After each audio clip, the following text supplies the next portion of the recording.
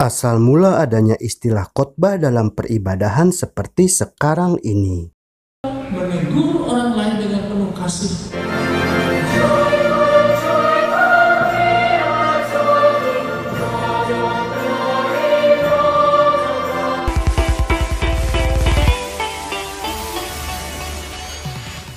Asal mula istilah atau adanya khotbah itu adalah doa yang panjang, yaitu yang terjadi pada zaman Nabi Nehemia ketika orang-orang Israel memerlukan waktu yang cukup lama untuk berdoa kepada Allah. Maksudnya adalah sebagai berikut. Setelah berakhirnya hari raya Pondok Daun atau Sukot, para pemimpin Yahudi kembali mengumpulkan orang-orang Israel karena mereka harus kembali untuk menyelesaikan urusan yang belum selesai, yaitu mengucapkan pengakuan dan pertobatan di hadapan Allah untuk dosa-dosa mereka. Oleh karena itu, setiap tanggal 24 bulan ke-7, orang-orang Israel berkumpul kembali untuk melakukan pengakuan dosa, berdoa, dan berpuasa.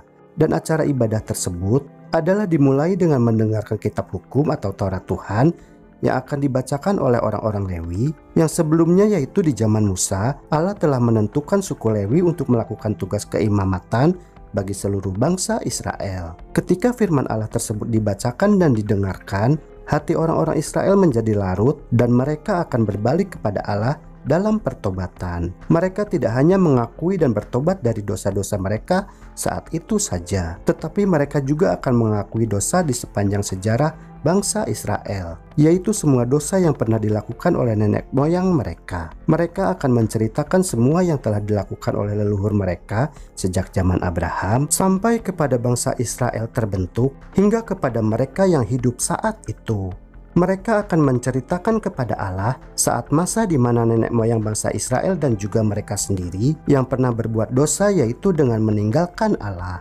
Lalu mereka juga mengucap syukur kepada Allah karena berulang kali Tuhan tetap mau datang kepada mereka dan menyelamatkan bangsa Israel meskipun leluhur dan juga mereka yang masih hidup saat itu telah berbuat dosa kepada Allah. Jadi bila diamati struktur doa bangsa Israel yang tertulis di Alkitab itu, urutannya adalah sebagai berikut. Pujian, pengakuan dosa, pengucapan syukur, permohonan, atau dapat diistilahkan dengan 4P. Dan struktur doa 4P ini dapat juga diaplikasikan dalam doa peribadahan umat Kristen di zaman sekarang ini.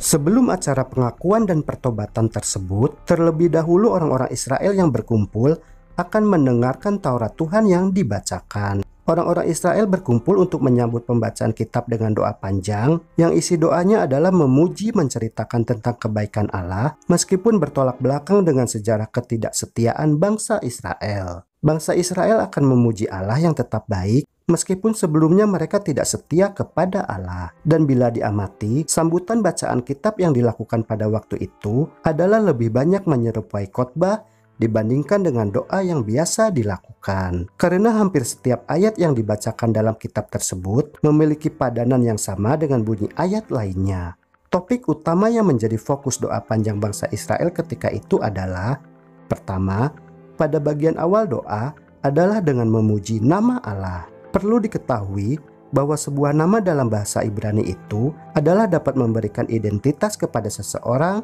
yang menyandang nama yang melekat dalam dirinya. Kedua, memberi pujian atas nama Allah. Hal itu sangat penting karena dapat menunjukkan kepada dunia bahwa Tuhan adalah nama yang layak dipuji dan dihormati.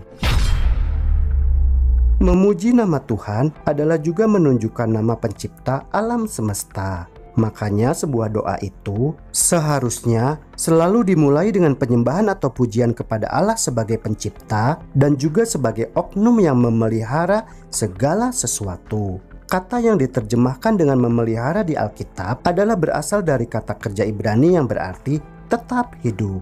Jadi, awal mula adanya ibadah khotbah seperti zaman sekarang ini adalah adanya doa panjang yang dilakukan oleh bangsa Israel yang sebelumnya didahului dengan mendengarkan firman Tuhan yang dibacakan. Dan itu terjadi pada zaman Nabi Nehemia.